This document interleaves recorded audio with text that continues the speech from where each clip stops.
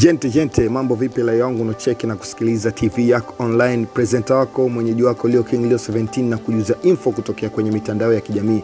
Zingatia ni hapa hapa kila siku napokujuza na kukusanua na kukufanya uelewe vingi ambavyo unaweza kuwa vijui, lakini mimi nakuletea, tuna break zile za kutoka kwenye internet na peji zao na zile za siri ambazo unaweza kuwa uzijui, lakini nakunyapianyapia na kushushia. Usisahau kushare, kucomment na kulike na kumtonya mwingine aje kupata taarifa kama unavyopata.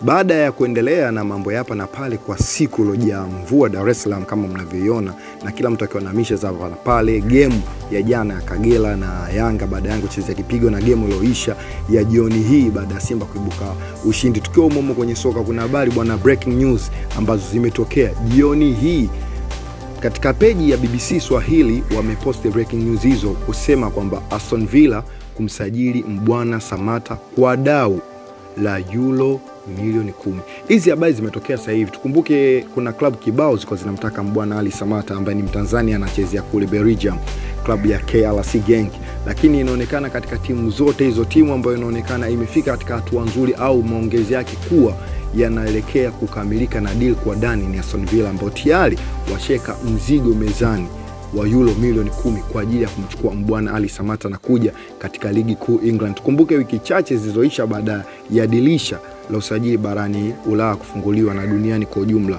EPL walitengeneza profile kwa ajili ya wachezaji wageni, lakini moja ya profile iliyotengenezwa ni ya Mbwana Ali Samata bila kujazwa ataenda kwenye timu gani, na watu wakasema ukiona mtu ametengenezewa hivi, basi kuna asilimia 80 ya mchezaji huyo alioandaliwa profile kuchezea ligi kuu ya England. Hapo ni APL, ndo ligi pendwa na ligi inayofuatiliwa zaidi duniani. Jioni ya leo habari zimekuwa nzuri, si kwa Samata tu, bali naamini ni kwa kila Mtanzania mwenye mapenzi ya dhati na soka na nchi yake na mzalendo pia.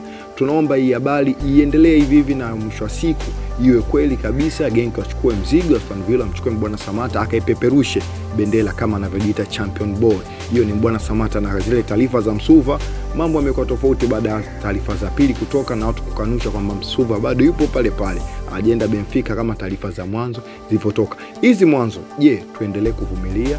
Unaweza kuacha comment kama ikitokea ndo kweli kama walivyoposti hapa BBC Swahili, akaondoka Genk kuja Aston Villa, wewe unaamini atashaini au aende timu gani? Lakini Aston Villa hadi sasa hivi anaonekana amewin bila Samata. Tusubirie itapokuwa proof zaidi, nitakujuza hapa hapa. Usisahau kushare, kucomment na kulike. Ciao.